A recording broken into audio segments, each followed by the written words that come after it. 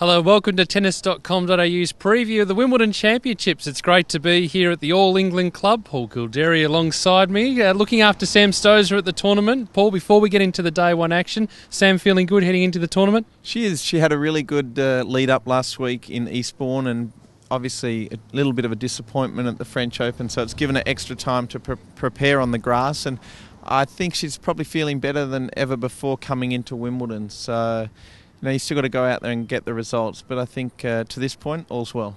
Let's get into the day one action. Only two Aussies in competition at the All England Club. It might only be one with the weather set to be torrential rain. First up, actually, second match on centre court. You've got Jelena Dokic taking on Francesca Schiavone.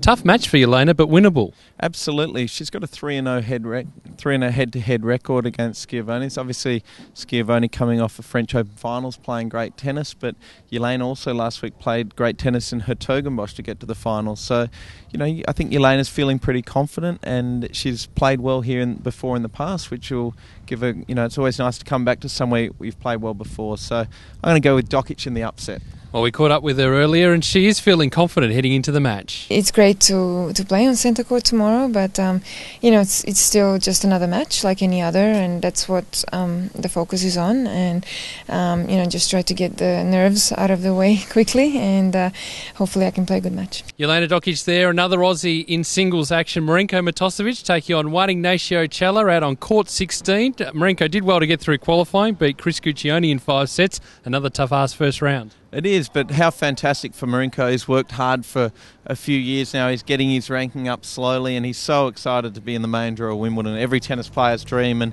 I really believe he's going to beat Chela tomorrow. Chela's obviously a terrific player, but on a grass court, it's his least favourite, and Marinko's playing well, and he's had some matches under his belt, so I'm going for the upset there as well. Well, hopefully he can get on court. As I said, the weather forecast not looking great, but we're looking forward to all the action on tennis.com.au.